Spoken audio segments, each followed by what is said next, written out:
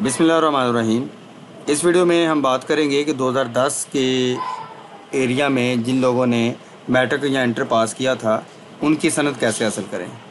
तो इस सिलसिले में मैं आपको वजात करता चलूँ कि Gujranwala board of intermediate and secondary education में 2010 की असनाद और जब प्रिंट हुई तो इस बारे में फ़ैसला किया गया कि 2010 की असनाद जो हैं, इनकी फ़ीस ली जाए।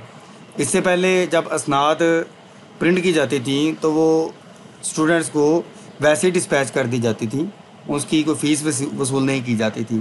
तो 2010 की इसनाद हासिल करने के लिए असनाद की फ़ीस हासिल करने के लिए स्टूडेंट से जब ये फ़ैसला किया गया तो बहुत से स्टूडेंट्स की फ़ीस पेंडिंग थी। तो फिर ये हुआ कि 2010 की जो सनाद हैं, वो ऑफ़िस में रोक ली गई और स्टूडेंट्स को इस बारे में एक नोटिफिकेशन कर दिया गया कि आप नोटिफिकेशन में ये बताएगा कि आप इसकी फ़ी पे करेंगे। तो आपको वो सनद डिस्पैच कर दी जाएगी। यहाँ पर ऑफ़िस में आकर वो दस्ती रिसीव कर सकते हैं। तो किसी की 2010 की मैट्रिक एंट्री की सनद पेंडिंग हो, जिसने अभी ली ना हो तो सबसे पहले वो अपने इदारे में पता करे अगर प्राइवेट है तो फिर तो गुजरावाला बोर्ड से मिल जाएगी। लेकिन अगर उसकी 2010 की सनद जो है, वो रेगुलर है तो पहले अपने दायरे में पता करें कि कहीं आपसे पहले वो ले तो नहीं गए तो फिर अगर नहीं ले गए तो फिर आप गुजरा वाला बोर्ड में आकर ले सकते हैं। लेकिन एक बात का ध्यान रहे कि 2010 की सनद हासिल करने की फ़ीस जो है, ये जो मैंने वीडियो की है, अभी इस डेट में साढ़े चार सौ रुपया है।